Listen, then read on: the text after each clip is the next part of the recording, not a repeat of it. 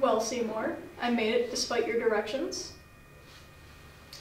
Superintendent Chalmers, welcome. I hope you're prepared for an unforgettable luncheon. Uh, Oh, egads, my roast is ruined. But what if I were to purchase fast food and disguise it as my own cooking? Oh ho ho, delightfully devilish Seymour. uh, Skinner, with his crazy explanations. Superintendent's gonna need his medications. When he hears Skinner's lame exaggerations, there will be trouble in town tonight. Seymour!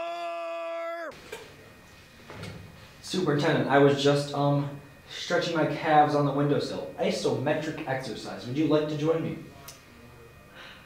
why is there smoke coming out of your oven, Seymour? Uh, no, that's not smoke. That is steamed. Steam from the steamed clams we're having. Ooh. Superintendent, I hope you're ready for mouth-watering hamburgers. Thought you said you were having steamed clams. Oh, no, I said steamed hams. That's what I call hamburgers. You call hamburgers steamed hams? Uh, yes, it's a regional dialect. Uh huh. What region? Um, upstate New York? Really? Well, I'm from Spencerport, and I have never heard anyone use the phrase steamed hams.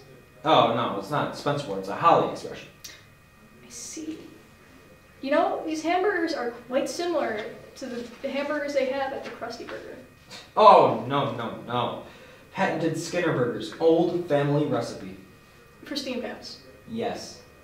Yes, so you call them steamed hams despite the fact that they are obviously rolls.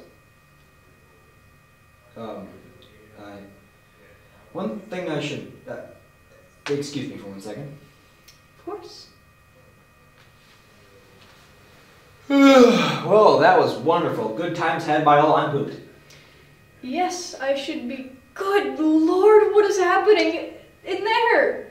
Aurora Borealis. Aurora Borealis. At this time of year, at this time of day, in this part of the country, localized entirely within your kitchen. Yes.